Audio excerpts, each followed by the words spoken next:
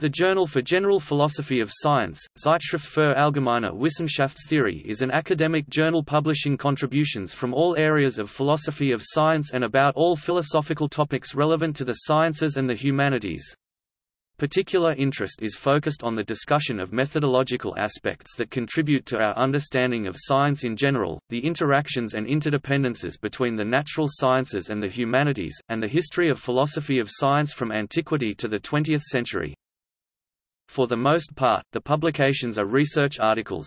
Smaller sections are devoted to discussions of current topics, reports on conferences, countries and special topics, as well as to book reviews. The journal was founded by Alwin Diemer, Lutz Geldsetzer and Gert Koenig. It first appeared in 1970 under the heading Zeitschrift für allgemeine Wissenschaftstheorie, Journal for General Philosophy of Science with Franz Steiner Verlag, Wiesbaden.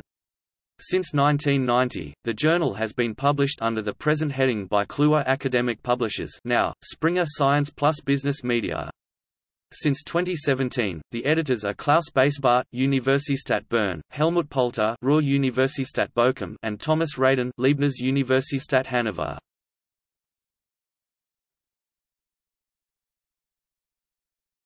Topic. See also List of philosophy journals. Philosophy of science